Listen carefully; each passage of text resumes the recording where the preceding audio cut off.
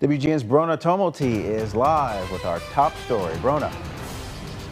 Good evening, guys. Yeah, more than 40 people shot, including three teenagers and a two year old, since about 5 o'clock on Friday evening. And of those people shot, we know that at least nine people have passed away. In the midst of all of that, the mayor showing his support today for Chicago police by joining a roll call on the southwest side. To have you here, Mr. Mayor, uh, speaks volumes. We know you have a lot on your plate, and you could be doing many other things right now. Thank you. Mayor Brandon Johnson standing with the officers of the 8th District today in a show of solidarity. We have a big task as a city to bring us all together.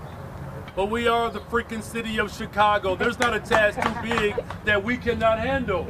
He emphasised the importance of working together for the sake of the city during open roll call at Wentworth Park on the southwest side. I come from a very large family. I'm one of 10.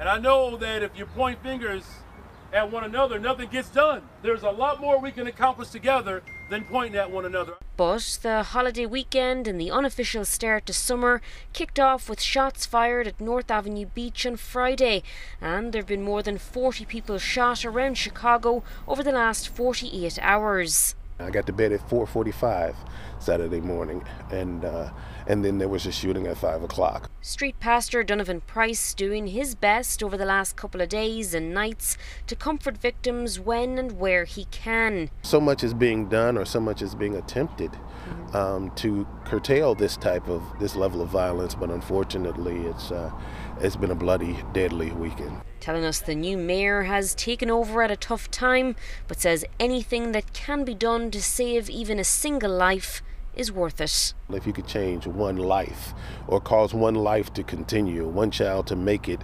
um, as they get out of school, to make it back to school in, in August, then you've done you know, a great deal of, uh, uh, of uh, help for the city.